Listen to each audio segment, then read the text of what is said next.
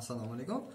Bugun sizlar bilan o'tadigan mavzuyimiz protsessorlar bilan ata va sata shnurlar va portlar hisoblanadi. Oldingi safar tushuntirib berdim. Bizada keys nimaligini и materinskiy plata nimaligini tushuntirib berdim. Demak har kuni qisqa qisqa qilib har bitta detalni tushuntirib o'taman va o'zimizni shu mavzuyimizni oxirida kompyuterni birgalikda yig'amiz desa ham bo'ladi. Man yig'ib har bitta detal qayerga o'rnatiladi qaysi detal nima vazifa bajarishini gapirib o'tib ketganim o'shani yana qaytadan takrorlaymiz. Birinchi bo'limni yig'ganda уже bitta materinskiy plataga bemalol hamma narsani joylashtirib keys ichiga o'rnata olasizlar xudo xohlasa. Mavzuga qaytadigan bo'lsak mavzuyimiz protsessor bilan ata va sata shnurlar deb aytib o'tgan bo'lsam birinchi protsessorlar bizada bir ming to'qqiz yuz yetmish birinchi yil biza biladigan vazifalarni bajaradigan protsessorlardan birinchisi bir ming to'qqiz yuz yetmish birinchi yil chiqarilgan desak ham manimcha yolg'on bo'lmaydi. Bu intel tomonidan chiqarilgan intel to'rt ikkita nol to'rt deb nomlangan protsessor bir ming to'qqiz yuz yetmish birinchi yil o'n beshinchi noyabrda o'ylab topilgan. Uni yonkisi to'rt bitniy bo'lgan. Bu hozirgi bizani anaqa bilan hisoblaydigan bo'lsak taxminan to'rtta hozirgi bizani wordda yozadigan harfimizga teng bo'ladi manimcha adashmasam demak o'tadigan mavzuyimiz tayin bo'lgan bo'lsa hozir man qisqacha qilib kamerada boshqa joyda olib ko'rsatib tushuntirib beraman sizlarga. Demak kamerani to'g'irlab yubordik. Oldingi safar ko'rsatib beruvdim. Bizada mana bu yoqda markaziy protsessor sentralniy protsessor deyiladi. U xalq tilida ko'proq oddiygina protsessor deb yuritiladi. Oldingi safar ko'rsatib o'tuvdim buni. O'sha mana shu protsessor buni har xillari bor. Mana misol uchun bizada hozir oddiygina oddiy intel celeron protsessorimiz buni yana intel dual core bor core i 3 bor. Hozirgi kunda juda ham har xillari chiqqan. Core i 5 ular to'g'risida qisqacha ma'lumotlarni ham telegram kanalimda qoldiraman. Farqi nimada? Nimalari bilan ustun nimalari bilan yana qulayroq. Qaysi sohaga qaysi biri ko'proq mos kelishini mavzuga qaytamiz. Yana ho'p bu protsessor oldingi safar ham ko'rsatdim qayerga o'rnatilishini vazifasi boshqa barcha qurilmalar va sizlar beradigan sizlar beradigan vazifalarni bajarish hisoblanadi. Misol uchun sizlar bironta bir dokumentni ochadigan bo'lsanglar bu orqali hartiga qaysidir ma'lumotni olib yana bunga qaytib kelib o'sha ma'lumot videokarta orqali sizlarni ekraninglarga uzatiladi. Mavzuga yana qaytib kelaman. Mana shu protsessorni olib joyiga o'rnatamiz. Oldingi safar ko'rsatganimdek mana bu yog'ida ikkita chuqurcha joyi bor. O'sha ikkita chuqurcha joyini platani ikkita chetini ham chuqurcha joyi bor. O'sha joyiga moslashtirib o'rnatib kompyuterga qotiramiz. Buni ustiga hali radiator bilan kuler tushadi. Uni eng oxirida o'taman. Hozir bugungi mavzuyimiz faqat shu protsessor bilan ikkita ata sata portlar va shnurlarga bag'ishlangan bo'lganligi uchun shu ikkalovini o'zini o'tib beraman. Demak mana bu shnurimiz bor bizani. Bu sata deyiladi.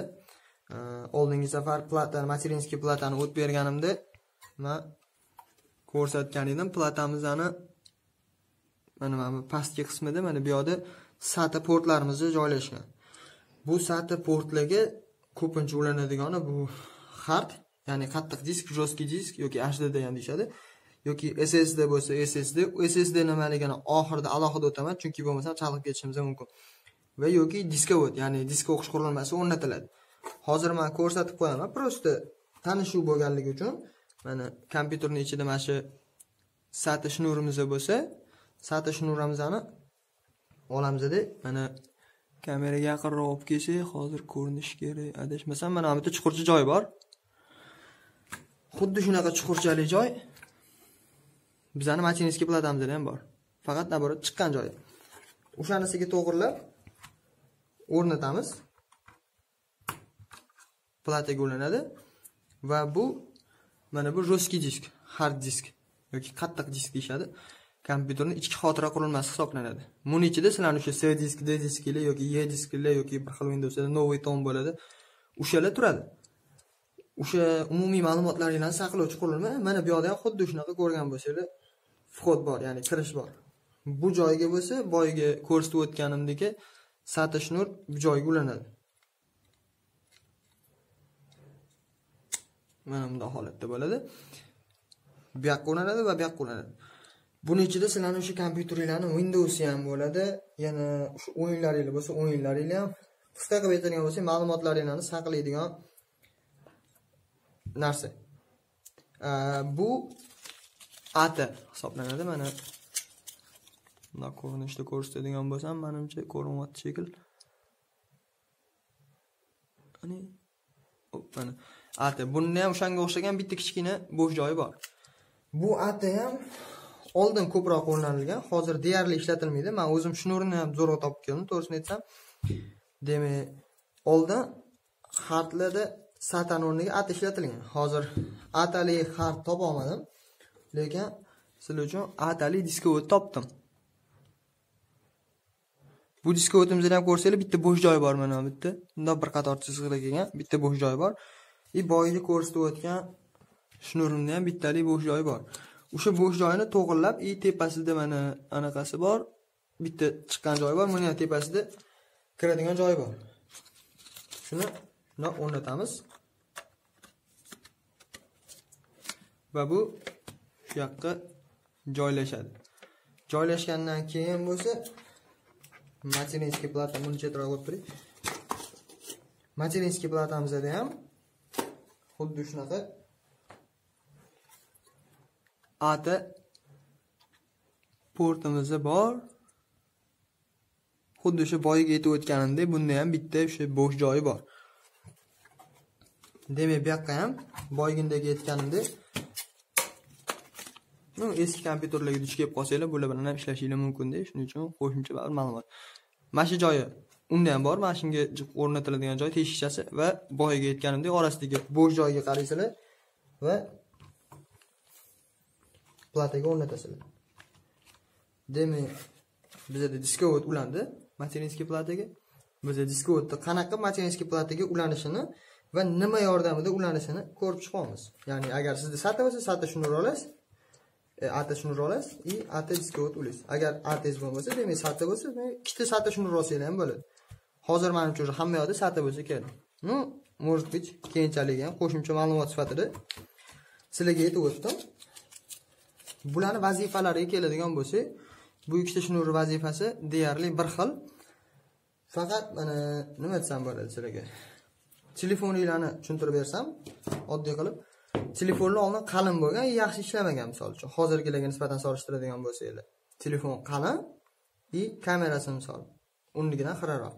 Bunda ham xuddi o'shanga o'xshab misol buni ko'rayotgan bo'lsanglar bu bilan solishtirsanglar farqini ancha muncha farqi bor to'g'rimi? Joyda ham.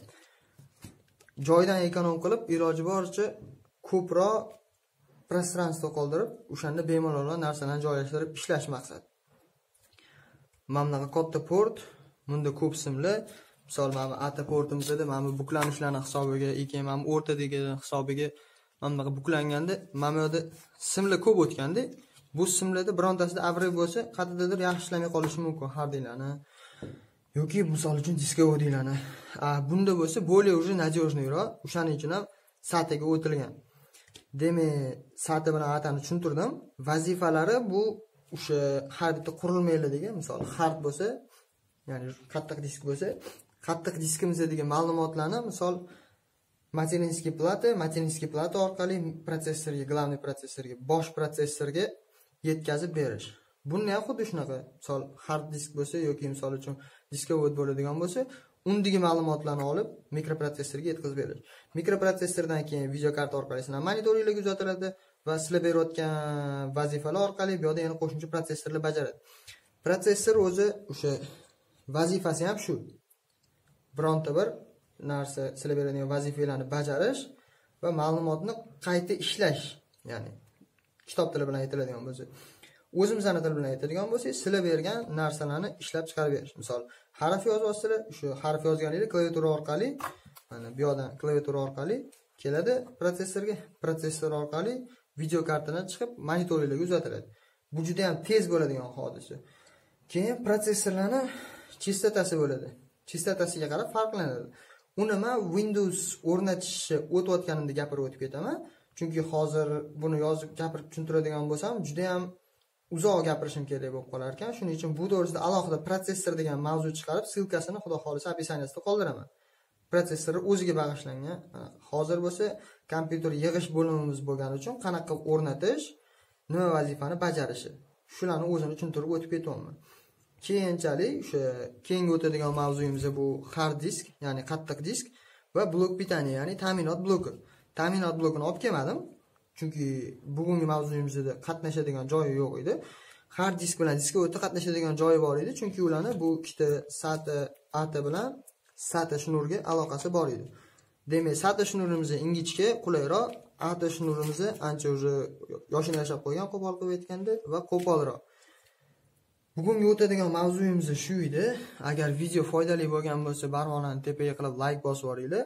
Iloji bo'lsa layk ko'proq bosib kommentariyada yetmagan joylari yoki tushunarsiz bo'lgan joylarini yozib o'tib ketib ketsanglar manga ham yaxshi bo'ladi. Sizlarga chunki to'liq qilib tushunarli qilib yetkazib berishga harakat qilaman.